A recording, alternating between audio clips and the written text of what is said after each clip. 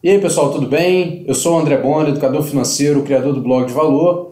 É, e eu estou hoje aqui com o Thiago Lacerda para a gente falar de investimentos. Então, um vídeo aqui que nós vamos fazer aqui em conjunto. Thiago, se apresenta aí para o pessoal. E aí pessoal, tudo bem? Para mim é uma alegria muito grande estar aqui com o André Bona, a audiência do blog de valor, um canal que eu acompanho já faz alguns anos e que é, eu tenho só a admirar o trabalho todo. Eu tenho hoje muitos alunos que também acompanham o trabalho do André Bona e a gente está aqui junto para tentar fomentar mais, mais conhecimento para todos, para poder ampliar a visão da nossa audiência em relação a investimento, em relação à prosperidade, em relação ao que fazer realmente para que o brasileiro saia desse estado em que a gente percebe a nossa nação hoje com relação a finanças e com relação a como o ser humano se relaciona com o dinheiro. Nossa missão pessoal, né, André, é levar informações de qualidade para fazer você buscar entender coisas mais é, essenciais e melhorar sua relação com o dinheiro, melhorando a sua condição de vida, sua qualidade de vida como um todo. E é isso, né? Então, agradeço muito aí o convite. Eu que agradeço. E só lembrando, pessoal, esse nosso vídeo vai ficar à disposição nos dois canais. Fica um convite para o pessoal que já acompanha o meu trabalho no canal Aprenda Investimentos também se inscrever no canal Blog de Valor. E, e a gente vai agora conversar um pouco sobre alguns temas que a gente acha interessante vocês é, ampliarem conosco. Beleza. Bom, é, primeiro é o seguinte, você almoçou direitinho? É, graças Tava a Deus, bom almoço? Uma maravilha. A convite do meu amigo agora. É, Tiago, eu queria, assim, primeiro agradecer pelo nossa, nosso bate-papo, né, nossa conversa. Hoje passamos a manhã inteira batendo um papo aqui bem descontraído para conhecer mais cada um do outro, das visões e tudo mais. E esse relacionamento é muito importante a gente ter com as pessoas que fazem educação financeira no Brasil, né? E dentro disso tem uma coisa que chama muita atenção no seu trabalho educacional, que é o foco que você dá para a renda variável da forma é, correta, né? Eu vou usar esse termo, mas é isso que eu acho, que é a forma correta como uma pessoa que quer investir em renda variável deve aprender para poder tomar suas decisões de investimento. E eu acho que essa é a principal característica do seu trabalho educacional, né? É, inclusive, o seu curso se chama Viver de Renda. Viver de Ações. Viver de Ações.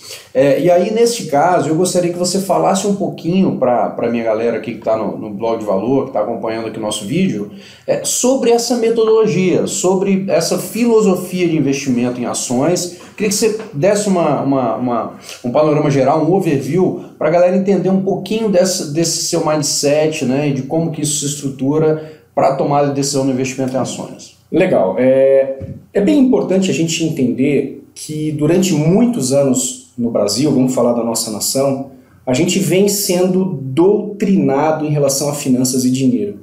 E se nós percebermos, os nossos avós né, já tinham uma concepção com relação uh, a finanças de uma maneira bem tradicional e que, em muitos casos, no que se confere à economia brasileira, acabou-se por distorcer muito a realidade em relação ao mercado financeiro. É, mediante essas constatações, essas, essas observações, é, a gente pode perceber que existe uma jornada a ser feita em relação ao aprendizado de cada um.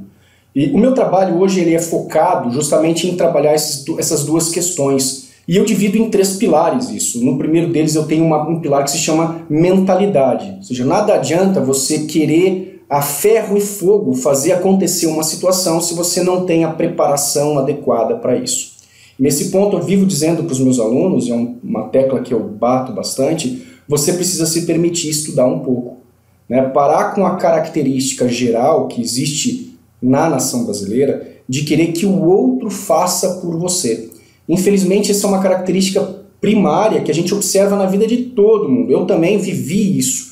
E eu posso estar aqui falando para vocês que eu sou o exemplo de uma pessoa que vivia nesse estado e que depois de um tanto estudar e tanto sofrer com os mesmos problemas que os brasileiros sofrem, endividamento, empréstimo, cheque especial, não saber fazer o dinheiro render, né, a ponto de poder ter uma renda substancial, para transitar para uma realidade onde eu consigo viver de, com a renda dos meus investimentos e até me tornar um orientador financeiro. Então esse primeiro ponto, essa primeira, essa primeira reversão de mentalidade é muito importante.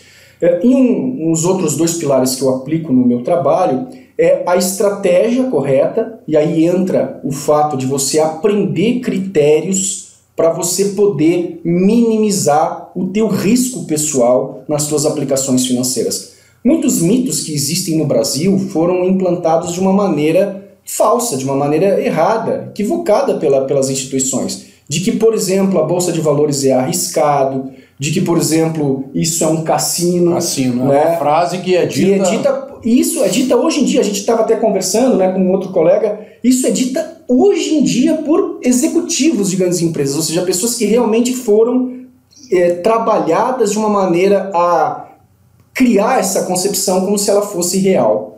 É, então a gente percebe que é, esses mitos todos geraram no brasileiro uma certa aversão ao fato de você investir corretamente com o propósito de viver de renda, com o propósito de você ter uma renda suficiente para você poder é, sobreviver adequadamente, com qualidade de vida, você e a sua família. É só ilustrando isso que você falou, isso se comprova nos números. Hoje o número de CPFs cadastrados na Bovespa é de 600 mil pessoas numa população de 200 milhões de habitantes. Exatamente, menos de 1%. Né? Dito uma frase que eu usei até numa das minhas palestras e ficou até meio polêmica, mas é uma frase que não é minha, e isso é um dado estatístico aqui no Brasil. Nós temos mais população carcerária no Brasil do que investidores na Bolsa de Valores. Ou seja, tem mais gente presa no Brasil em cadeias do que investidores na Bolsa de Valores. E quando a gente percebe a realidade da Bolsa de Valores, a gente vê que 99% desses é, operadores, esses investidores, eles trabalham em uma modalidade conhecida como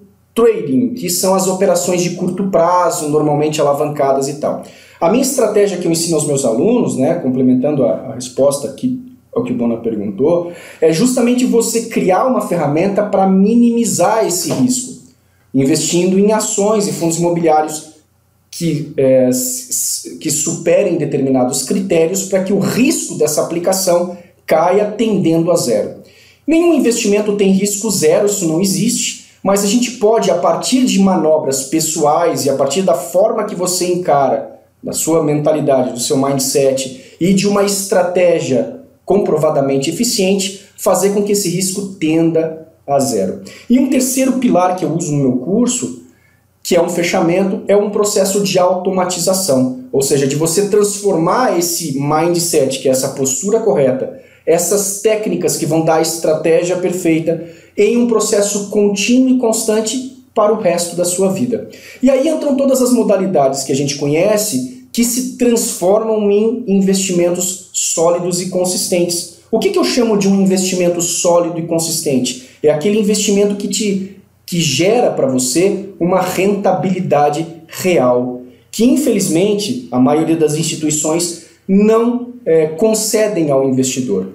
A maioria das, in, das instituições hoje, Bona, corretoras, bancos, agências, researches, etc., quando elas recomendam investimentos, elas divulgam uma rentabilidade nominal. O que significa isso? Significa uma rentabilidade bruta, mas aí não está sendo computado as taxas administrativas, os impostos praticados e a inflação recorrente do país. Né? A gente sabe que esses índices, por exemplo, inflação, é um índice variável. Né? Se alguém tiver dúvidas sobre isso, acredito que o Bona tenha outros vídeos que explicam, eu também tenho outros vídeos que explicam, mas é, basicamente são indexadores variáveis da economia brasileira, onde nós que somos brasileiros acabamos sentindo isso no bolso, porque afeta os preços que a gente compra as coisas, o preço que a gente paga para nossa energia elétrica, o preço que a gente paga para o transporte, para a educação, para vestuário, para alimentação e etc. Então, é, quando eu trabalho essas questões como um todo, eu consigo aprender, eu me, me capacito para aprender a identificar nas aplicações financeiras quais são aquelas que produzam uma rentabilidade real que vença a inflação, as taxas e os impostos. Com isso, eu consigo gerar crescimento patrimonial real para o investidor.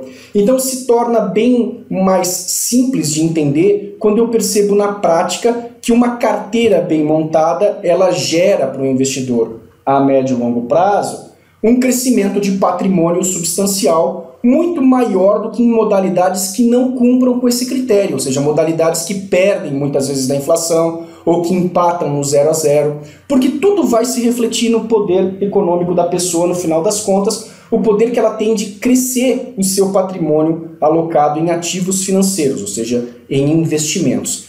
Por essa razão, eu optei, durante a minha trajetória, a minha jornada, a ficar em 100% na renda variável. Ou seja, hoje em dia, às vezes o pessoal se assusta, né? Porque eu não tenho aplicações normais, como se diz, comuns, assim, de banco, fundos de investimento, CDBs, ou CDBs tesouro. tesouro ou ainda é, é, modalidades de previdência privada, né, que é o famoso PGVL, VGBL, que muitos, muitos bancos vendem. Eu optei por não seguir nessa linha mais tradicional, digamos assim, do mercado brasileiro e seguir montando uma carteira de investimento onde eu mesmo me tornei o gestor da minha própria carteira. Então, essa carteira não está é, nas mãos de uma research ou nas mãos de um agente. Eu mesmo, a partir do meu estudo, da minha, do meu desenvolvimento, busquei desenvolver as habilidades necessárias para poder blindar esse patrimônio, minimizando o risco, tal como eu falei. E assim, o que, que acontece? Eu acabei é, tendo muito mais resultado no decorrer do, do tempo, né? isso já fazem aí mais de 15 anos mais ou menos, e devido à minha jornada de ser um professor, eu sempre atuei na área educacional, né, em treinamentos, acabei montando o meu curso, isso tem dado resultado, no meu canal tem vários alunos aí que dão depoimentos sobre isso. E não precisa se assustar, né? Eu acredito que tudo na, tudo na questão financeira é uma questão de aprendizagem, de adaptação e de você entender a sua, a sua realidade momentânea. Eu tenho alunos hoje em dia que possuem aplicações de renda fixa, é, combinando, praticando aquilo que se chama de alocação de ativos, praticando é, várias modalidades tradicionais e também experimentando a bolsa de valores e fazendo aquela jogada de é, minimizar talvez aquela diversificação para é, considerar um risco menor, vamos dizer assim, né? Para que de repente se a bolsa tiver oscilações movimentos mais bruscos, ele isso consegue ele se defender. Exatamente. E a bolsa de valores possui é, na realidade oscilações naturais que quando a pessoa sabe aproveitá-las de uma maneira consciente, tem aquilo que eu chamo de investidor consistente, que é aquele cara que sabe o que está fazendo e não está seguindo dica dos outros aí ele consegue é, efetivamente resultados em carteiras que eu chamo de blindadas, né? Ou seja, são, são aplicações resilientes às crises, mesmo quando ocorra uma crise econômica, como nós estamos vivendo agora, nos últimos anos, onde o, o país teve uma recessão forte, onde nós tivemos rompantes da bolsa, como também aconteceu em outros anos, como em 2008, né, que aconteceu por exemplo, nos Estados Unidos na, na década de 30, 29 30. Ou seja, sempre há altos e baixos no mercado financeiro. Quem aprende a aproveitar esses momentos e a, de uma maneira tranquila, entender desses critérios que eu estou mencionando, essa pessoa com certeza ela consegue resultados bons e ela vence o medo. Uhum. Por quê? Porque o resultado dela acaba transformando aquela prática em algo que ela vai confiar muito mais. Quando a gente investe de uma maneira tradicional, eu não faço esse processo, porque muitas vezes, mesmo eu aprendendo e estudando, são poucas as pessoas que se dispõem a isso, mas eu acabo deixando a minha, a minha carteira de investimentos na mão de um administrador, seja um banco, um agente, uma corretora, etc. Então essa é a diferença, né? E que eu acho que é um, uma, uma, uma, uma forma que pode possibilitar todas as pessoas de ampliar, de potencializar seus resultados, independente de quais condições financeiras ela esteja uhum. vivendo no momento. Né? Mesmo aquela pessoa que tem talvez um salário baixo, tem uma condição de financeira um pouco menor, como aquela pessoa que já é talvez um empresário aí de sucesso, consolidado, que tenha sua rentabilidade maior. Em ambos os casos, se ela souber executar de uma maneira correta as suas aplicações e gerenciar sobre isso, com certeza ela vai é, ter resultados melhores. Né? Essa é a característica do meu trabalho e, e você não vai ficar sem falar não, né? Eu queria repetir aí a mesma pergunta, fala um pouquinho de como tu está trabalhando e, e, procedendo nesse sentido. Eu sei, né, tenho acompanhado teus vídeos, né, Bona? E você fala muito desses produtos tradicionais sim, também, sim. né? E, e, eu sei que você, você até considera esses pontos que eu estou colocando, mas eu observo que tem muita insegurança em todo o processo e isso talvez seja uma, uma característica que a gente tenha que trabalhar na orientação financeira para mudar na cabeça da, das pessoas. Uhum, Perfeitamente. É, é Tiago, assim, eu, eu vim do mercado financeiro, né? aliás, minha área de formação não é, eu sou uma pessoa comum igual todo mundo que está aí acompanhando a gente nos canais. É, que tinha uma vida fora do mercado financeiro e ao longo do tempo começou a juntar algum dinheiro e passou por todo aquele processo. Vai no banco, compra um produto que é uma porcaria, alta taxa, baixo retorno, aquela coisa e tal. Até que num dado momento da minha vida eu tive uma entrada um pouco maior de capital e tive que me preocupar mais com essa questão. E aí eu fui aprendendo, adorei o mercado financeiro e fui trabalhar no mercado financeiro. Né? Então a minha trajetória é essa. E aí, neste trabalho no mercado financeiro, eu tive a oportunidade de conviver com milhares de investidores tomando decisões diariamente, e isso é a base do meu trabalho educacional, que são as experiências e os feedbacks reais de cada investidor nos sentimentos que ele tem ao longo dessa jornada de investimento, que é, vai levando a vida toda na medida que a pessoa sempre vai acumulando recursos. Né? Então, o que diferencia a, a, a proposta educacional que eu trago né, é, com relação a outros, a outras visões, é, é, a gente inverter a lógica de uma montagem de escolha de, de, carteira, ou seja, a escolha de investimentos, não se baseando em cenário econômico ou não se baseando naquilo que talvez esse ano vai ser melhor, mas sim no planejamento financeiro pessoal. Então, quais são os meus planos, quais são os meus objetivos de curto, médio e longo prazo, e assim eu identifico quais são os produtos que eu tenho que ter para esses prazos, e assim eu monto a minha carteira de investimentos que é uma forma que eu entendo que funciona, ela é me gera menos ansiedade no investidor e não faz com que ele fique querendo ficar fazendo troca de posição toda hora a cada, a cada sinal de fumaça que tem no Brasil, porque sinal de fumaça no Brasil tem desde o dia que eu nasci. Então isso é uma constante, não é que agora a gente está falando, agora tem não sei o que da política, mas isso aí sempre foi essa, essa, essa eu ia falar a palavra bagunça, mas ia ficar boa. Mas né, é, sempre tem essa, esse tipo de instabilidade. Então, assim, eu acredito que na medida que você traga isso, tire, tire esse eh, o foco da decisão desses gatilhos, né? Desses gatilhos política, economia, não sei o que lá, você sossega, é, gira menos o patrimônio e toma decisões mais consistentes, com mais consciência e, e com a expectativa do que cada produto pode te entregar. Eu acho que esse é um ponto interessante porque você falou sobre o mindset quando você fala da, da, de, uma, de uma ideia de alocação 100% em renda variável, e existe um mindset que eu acho que realmente é falho, né, é, na maior parte das pessoas, de compreender, por exemplo, que uma ação é uma empresa que está trabalhando, gerando, gerando valor, é, e a questão do que, que é risco, né, de entender o risco. O risco não é porque oscila, o risco é você entender o que, que é aquilo. Eu até faço uma uma ilustração, várias vezes já fiz essa ilustração, que é quando você chega na sua casa de praia lá, e tá tudo escuro, você chega de noite, você abre a porta e vê um negócio enrolado e fala, meu Deus, tem uma cobra aqui. Aí você acende a luz, não, era uma corda enrolada e aquilo é o medo que você tem na hora que você pensa que é uma cobra, é, é um medo real, como se realmente tivesse uma cobra ali. Só que não tem. E ali, quando você joga a luminosidade, que é o conhecimento, a informação, aquilo se dissipa e você está confortável. Então, eu acho que isso é, é, muito importante, né? A pessoa ter a informação para poder é, exatamente é, saber aquilo que, ele, que ela espera do, do investimento. E eu achei muito legal que a gente conseguiu fazer esse nosso vídeo em conjunto aqui, porque muitas vezes eu sei que grande parte da minha audiência quer ir um passo além na renda variável.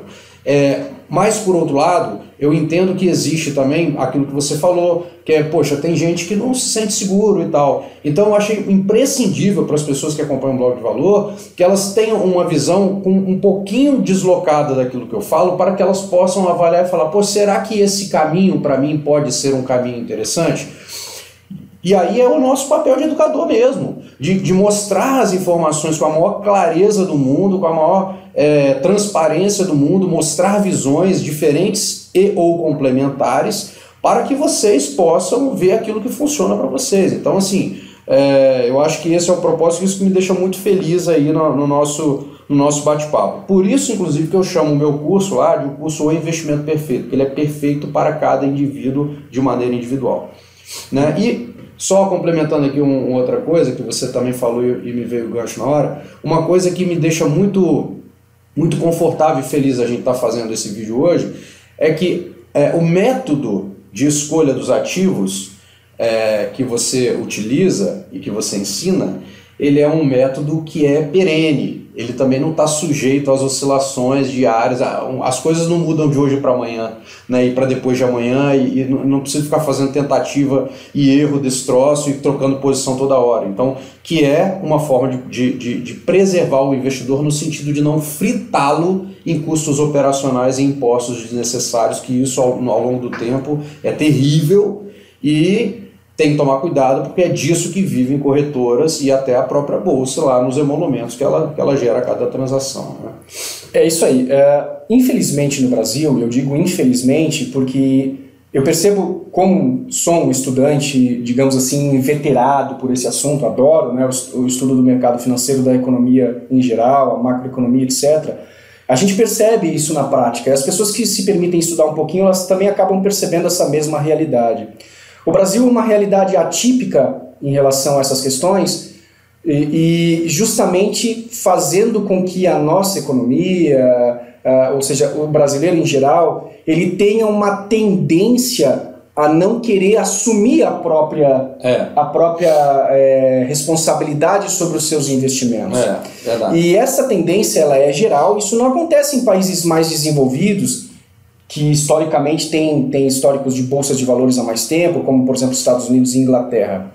Né? Nesses países a gente percebe que não existe o fomento ao crédito, não existe a questão de. Eles têm, obviamente, crédito, não é isso, mas não existe a, a forma que é feita aqui no Brasil. Aqui no Brasil, por exemplo, a, a, existe propaganda na televisão incentivando o brasileiro a usar o cheque especial, incentivando o brasileiro a usar o cartão de crédito e incentivando o brasileiro a manter as suas, as suas reservas financeiras na caderneta de poupança. É verdade.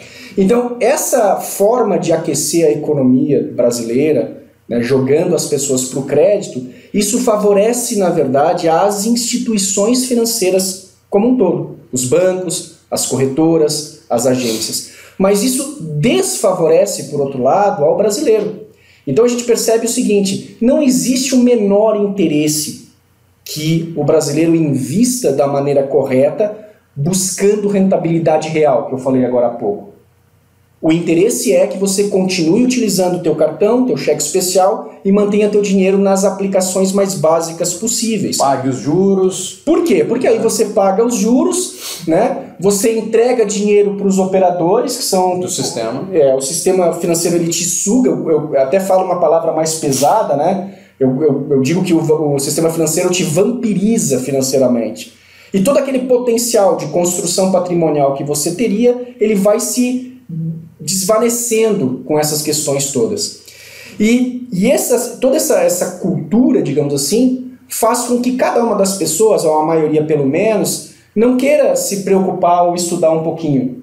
Então, é, gente, isso que o, o André acabou de dizer aqui é imprescindível. Ou seja, que você saiba que existe uma possibilidade real de você construir patrimônio acima da média de uma maneira sólida e consistente, sem se arriscar, ou seja, sem se submeter ao risco, porque o risco existe. Existe uma diferença que eu falo no meu curso, que é a diferença do risco e do arriscado. Uhum.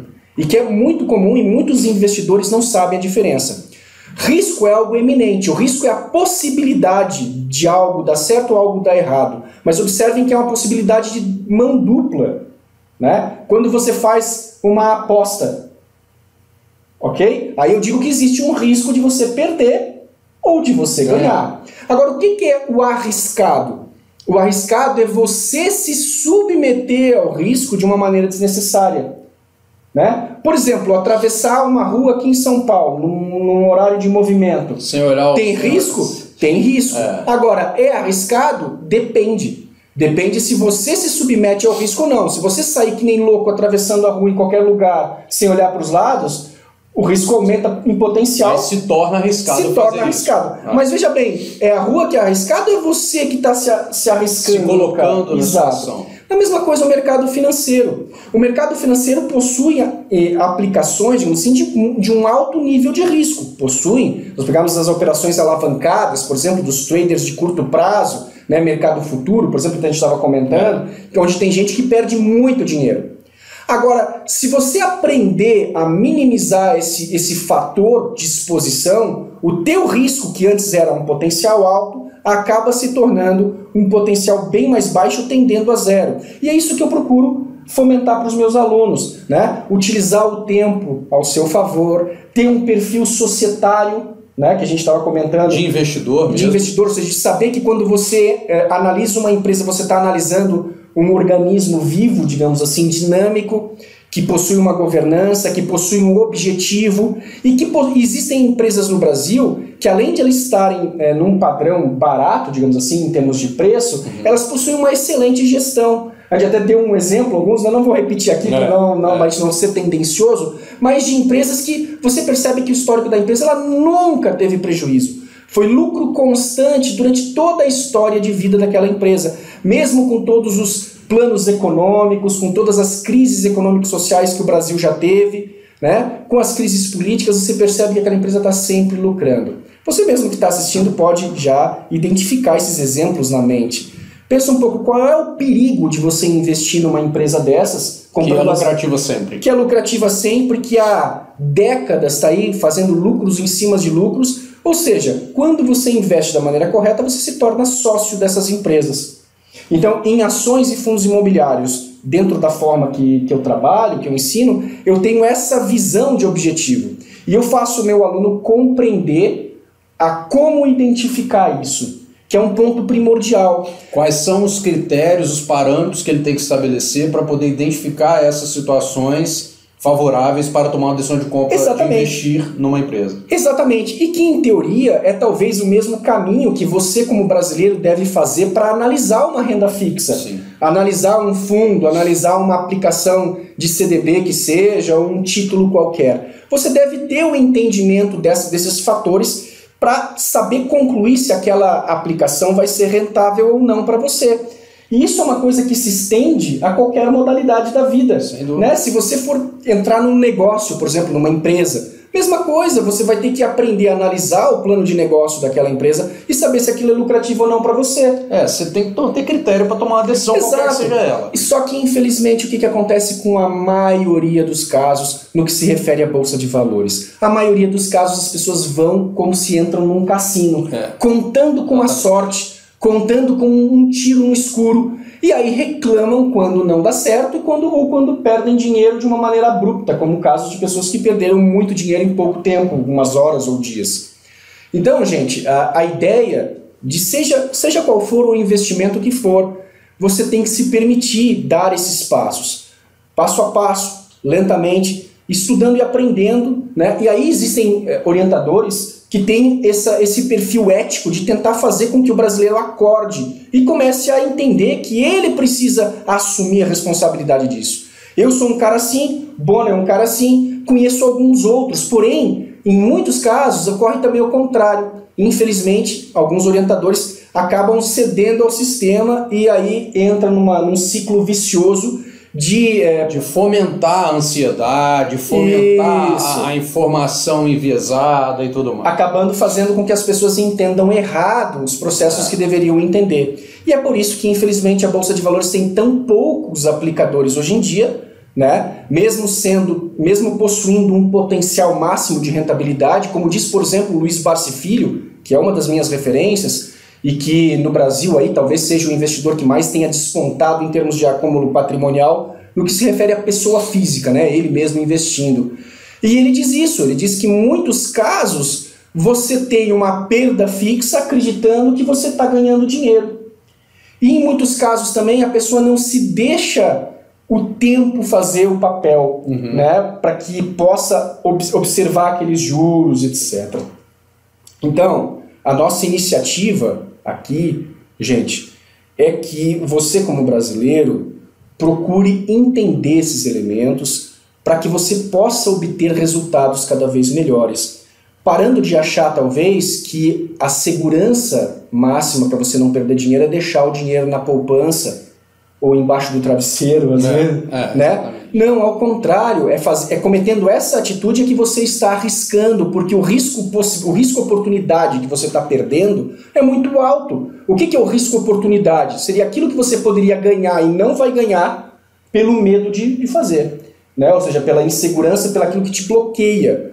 É, então, você congela, né? É, você, você congela. congela. Então existem muitas opções no Brasil vamos, vamos ser razoável aqui, tanto a nível é, na renda fixa, de, de aplicações que vencem a inflação, aplicações que podem te gerar rentabilidade real, como em renda variável, se você tiver os critérios para te proteger e para não se expor ao risco desnecessariamente. É, tem uma coisa aí que eu acho muito importante, que é a questão do respeito ao perfil individual, né, que a gente estava conversando mais cedo também. É, ainda que o número de pessoas que investam na bolsa seja baixo no Brasil, ainda assim, dentro desse universo, ainda a maioria tem dificuldade de ter resultado consistente justamente por investir de maneira errada. Exatamente. Então, assim, é, eu acho que, que você deve se permitir a pensar, pelo menos, até essa experiência e, e, e aprender mais sobre isso. Se você ainda tem insegurança, você precisa começar pelo método certo, pelo método efetivo, pelo método que está focado numa, numa ideia de investimento de longo prazo de fato e não numa ideia de especulação com valor, né, com, com preços, não é isso.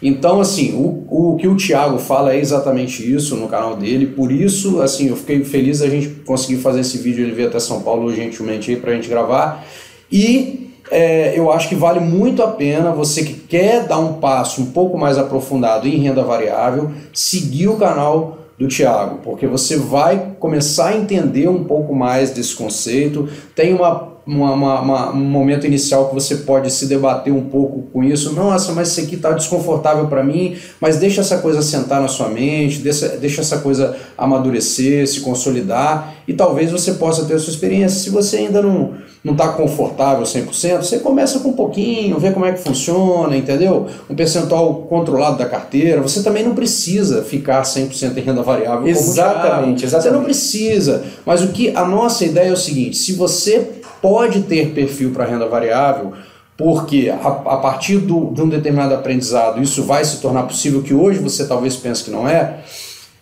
dentro dessa, desta, desta parte que talvez você possa pensar renda variável, que você faça da maneira correta, que você faça da maneira mais consistente, que, que a maneira que comprovadamente os grandes investidores nas, do Brasil e do mundo ensinam e recomendam, que é em cima disso que a gente está falando as técnicas e o método de investimento de longo prazo em renda variável, não é isso, Thiago? É isso mesmo, e, e volto a dizer, né, eu tenho alunos que hoje em dia ainda mantêm é, aplicações em renda fixa e já por justamente optarem por esse mindset mais assertivo, digamos assim, já conseguem identificar em todas as modalidades quais são as aplicações mais interessantes para conformizar com os objetivos pessoais que eles Legal. possuem. E isso é muito importante de dizer, né? Você pode é, ir à medida que vai desenvolvendo o seu entendimento sobre todo esse assunto e manejando de uma maneira muito mais eficiente